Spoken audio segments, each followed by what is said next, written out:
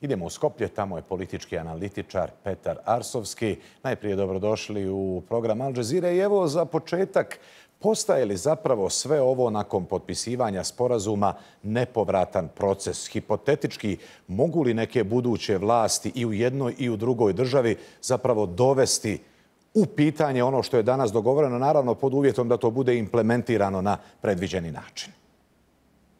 Ukoliko se implementira kako je e, zamišljen ovaj e, ugovor do kraja 2018. godine, to će postati neopoziv deo i makedonske i grčke parlamentarne demokratije i onda će biti veoma teško za bilo koju sljedeću vladu da to promeni.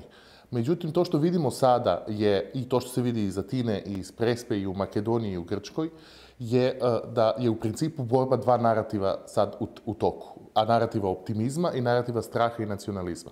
Bar danas, na ovom potpisivanju u Prespi, je narativ optimizma pobedio. Međutim, slede još nekoliko brzih koraka do kraja 2018. da se to u e, celosti završi i implementira i nećemo znati do kraja ove godine koji je narativ u stvari pobedio.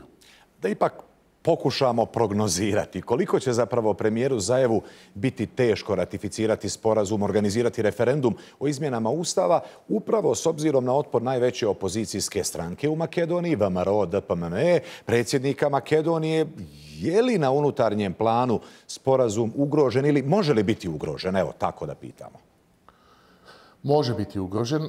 Sporazum na unutrašnjem planu sledi sukcesija nekoliko ovoj prepreka koje mora vlada Zajeva prevazići.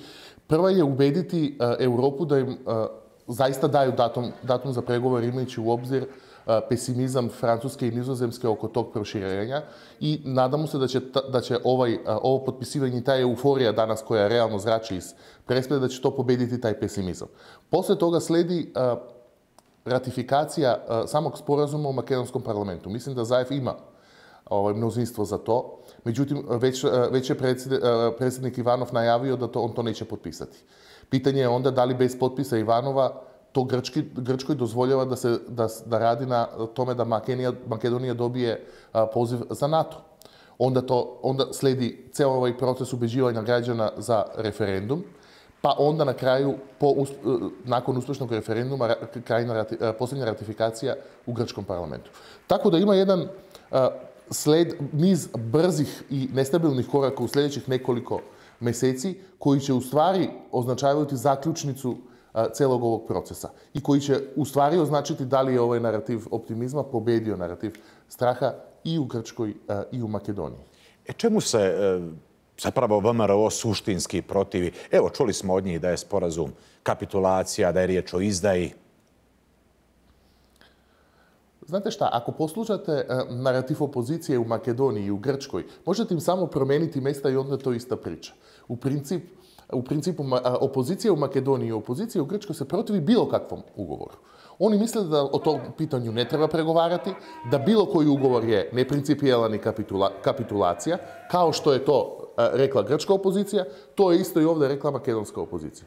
Međutim, to što je ironično je što se više opozicija u Grčkoj buni protiv ugovora, to ugovor bolje izgleda u Makedoniji i obratno. Što se više makedonska opozicija buni oko ugovora, to ugovor bolje izgleda u Grčkoj.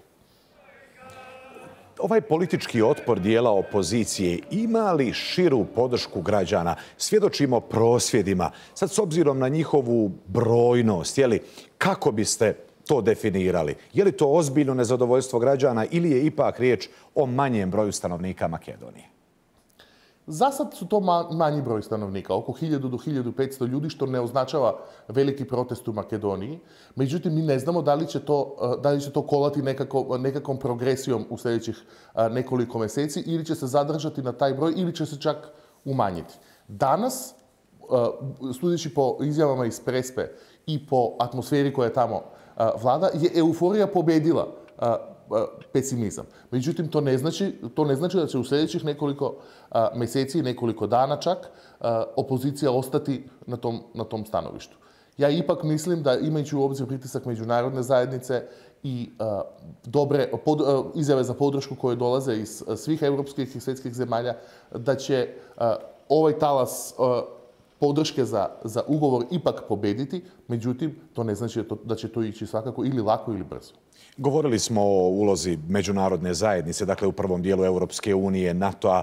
Pomenuli ste skepticizam, pesimizam nekih članica Europske unije spram proširenja, ali koliko je u ovom momentu zapravo za Makedoniju važno da potencira odgovornost upravo međunarodnih aktera koji su inzistirali jeli, da, da, da se ovo riješi na način na koji je riješeno, barem u ovom prvom, prvom koraku, da bi i oni ispunili svoj dio obećanja, tako da kažemo. Bez obzira i na neka ranija iskustva kad su obećanja međunarodne zajednice u pitanju. Za ovaj dio svijeta pogotovo. Tako je. Svakako izgleda da je potpisivanje ugovora veoma veliki poticaj koji bi trebao da bude jači od pesimizma ili dvoumljenja Francuske ili Nizozemske u ovom, u ovoj, u ovom turnusu proširenja. Svakako će biti veoma veliko razočarenje za Makedoniju, za, Makedoniju, za makedonsku političku elitu, pa i za građane Makedonije. I svakako će to a, ići na, na, na uštrb a, legitimitetu i a, kredibilitetu Europske unije ukoliko ovakav težak ugovor ne dobije odmah nekakav benefit u smislu početka pregovora ili datum za početka pregovora i tako dalje, tako dalje. Međutim, ja mislim da, da su ipak šanse za to veoma male. Mislim da će ipak međunarodna zajednica, posebno Europska unija, najmanje doneti političku odluku da će Makedoniji dodeliti datum za pregovore, a da li će taj datum početi odmah ili krajem godine, to ćemo tek da vidimo. E sad posmatrano u regionalnim razmjerama, šta sporazum znači za Zapadni Balkan, posebno u kontekstu jednog zamaha jeli, u ovom sad trenutno manje više zastoju kad je riječ o euroatlantskim integracijama? Mislim da tu nije samo pitanje euroatlantskih integracija, jer optimizam oko euroatlantskih integracija dođe pa, i, pa ode u, u, principu i u Briselu i u, i u Washingtonu. Ipak je to više geostrateška pozicija za utjecaj i, odnosno, baš odbranu od utjecaja Moskve na ovom regionu. To je ta oska od Poljske do, do Grčke koja uključuje i Bugarsku, imajući u obzir da je Turska već sa, sa, sa druge strane utjecaja. Tako da mislim da je ipak to nekakav postrek u tom smislu. Za region je to lekcija da se i najteži sporovi mogu rešiti dijalogom.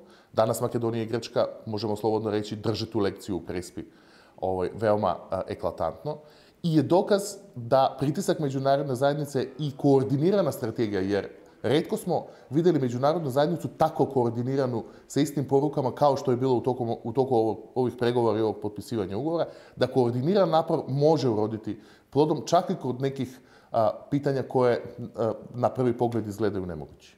Hvala vam puno za odgovore, za pojašnjenja. Bio je to politički analitičar Petar Arsovski iz Skopja.